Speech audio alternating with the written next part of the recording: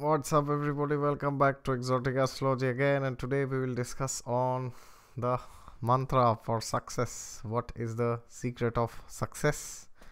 A beautiful secret.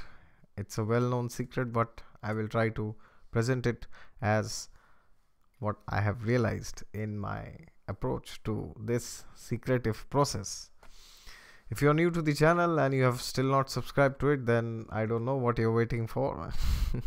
Please subscribe to it below. And if you like this video then watch my other videos and click the thumbs up and share it with people that you know who want to be successful like you. And also if you have other tips on how to become successful then you can please share it in the comments below. I would love it. I would appreciate it very much all right. Before beginning as i say god is there with you all the time. Just look to him and he will be there and he will also help you to become successful. What i'm going to speak today is a balance between the process and the goal which means to be successful one of the most important traits that we need to have is attraction for the process rather than the goal. Should i repeat?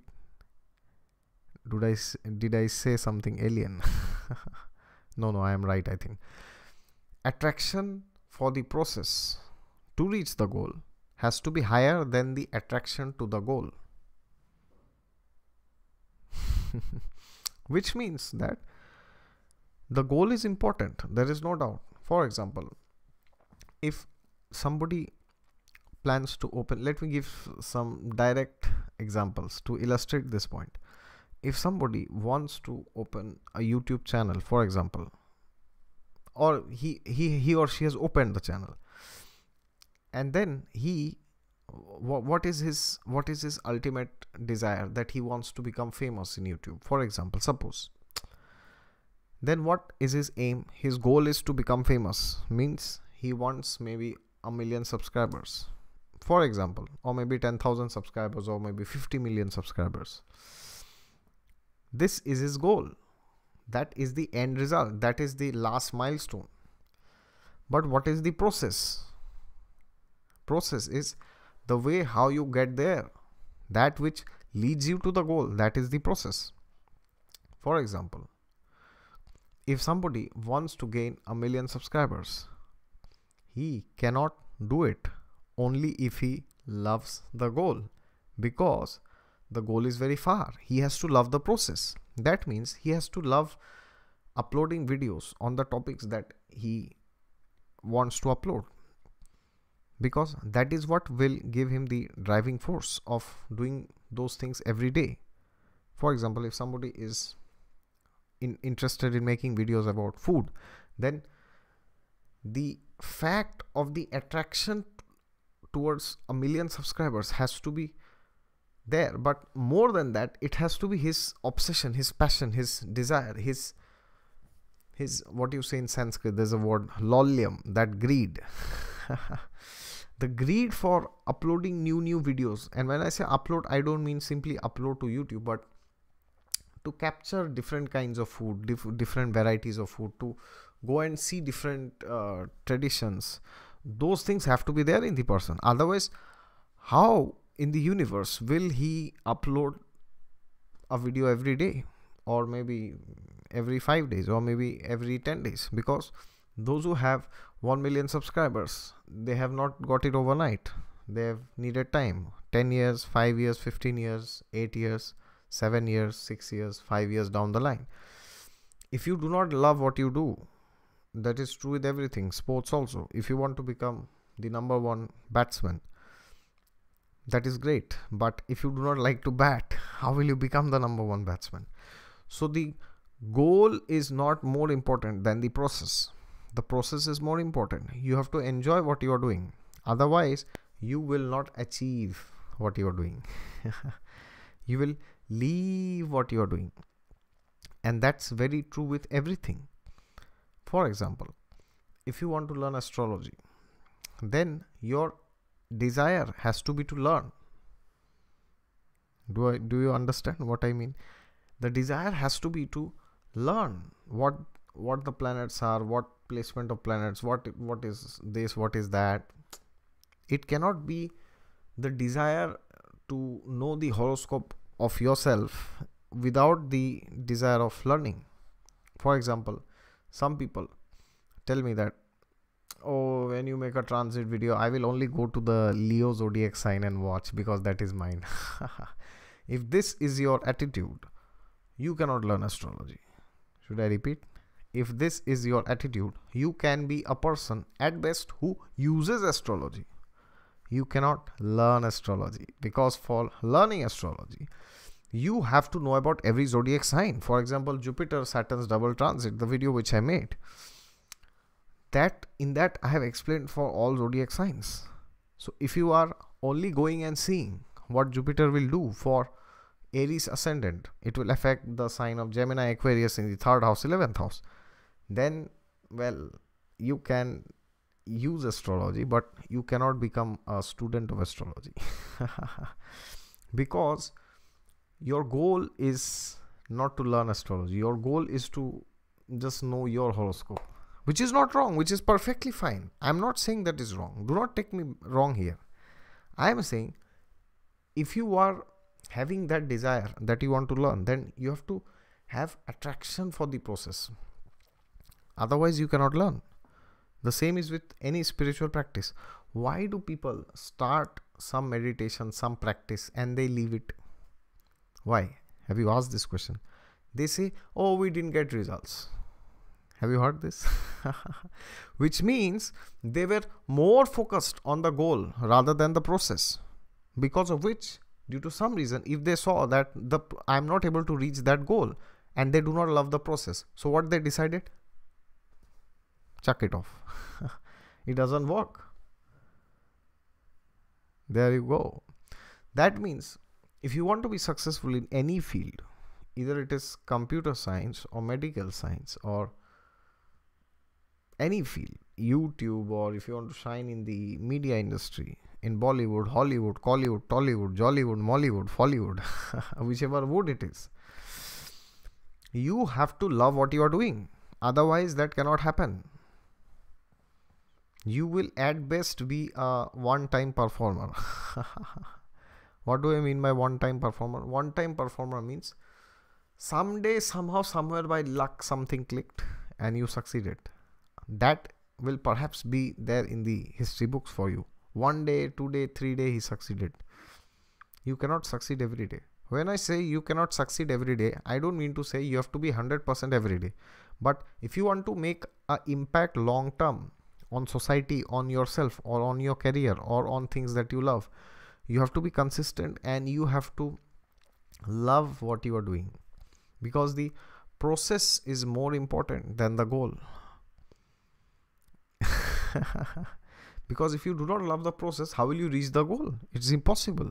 You may think you will reach but it doesn't work that way. Because the process is what will give you milestone after milestone after milestone which will ultimately lead you to the ultimate goal to the last of all milestones. And when you reach that you say i have achieved my goal. Yes then you say that right? But if you are cursing yourself oh my god i have to chant this mantra i have to read this gita oh they said you will get moksha that is why the same tendency comes when we start something spiritual. There was there was a girl one day she asked me we were, we were having some discussion. So she asked me oh you told to do this na? I will get moksha na? There you see where's the problem? Now the question is correct. Because even in the scriptures it is said falena viparichyate.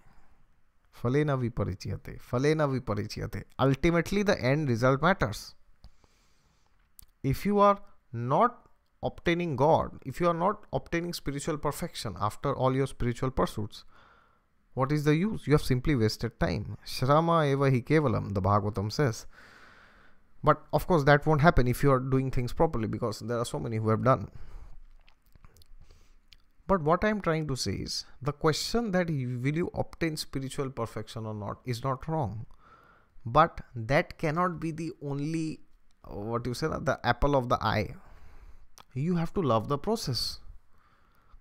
You have to you when you are when you are reading uh, the gita or the bhagavatam or the quran or maybe you are into ayurveda when you are reading you have to read it as if you are actually into it. Because you cannot pretend for very long. You cannot simply pretend for long. Because my guru used to say this you can fool everybody for some time. You can fool some people for all time. Should i repeat? You can fool everybody for some time. And you can fool somebody for all time. But you cannot fool everybody for all time should i repeat again? You cannot fool everybody for eternity. That is not possible. That means if you do not love what you are doing you will you will be least interested in the goal after some time because you will be convinced that you cannot reach there. Because if you cannot take a single step if you cannot just reach the next milestone what gives you the conviction that you will give, reach the last milestone for example if somebody is having a goal to go from mumbai to pune then what what what, what are the different milestones? What are the different stations that he will be halting? His car or his train or whatever you call it. Or maybe he takes takes a flight yeah when he crosses uh, bombay he will reach navi mumbai then he will reach panvel and then uh, then he will go and then he will reach vashi these are the places and then finally he will reach lonavala then when he goes near to pune he uh, he's about to reach he will see uh, this DY Patil College. Then he will see Barbecue Nation Hotel, Sayaji Groups. Yes? Have you been there? Pune. Whenever I think of Pune, I remember that verse in Bhagavatam. Punah punah charvit charvanana. Prahlad Maharaj says this. Anyways, I love to deviate. So coming back to the topic. When you are reaching Pune from Mumbai, then there are certain milestones which will come in the way right without which you do not reach pune so if you are not able to reach lonavala or what you say khandala how in the universe will you reach pune that means you are not interested to reach pune actually. Because it is very easy to think of the ultimate goal. It is very easy to be in illusion that everything will just fall out everything will just fall in place but it doesn't happen. You have to love the process. Your love for the process has to be more than the goal. Uh, should i repeat? Your love for the process has to be more than the goal and if you love the process the goal is just another detail. Yeah the goal is just another point in the process. That's what the scriptures say that when you keep practicing spirituality you become so elevated that you don't realize that suddenly one day you are not living. You are there in the spiritual realm with god.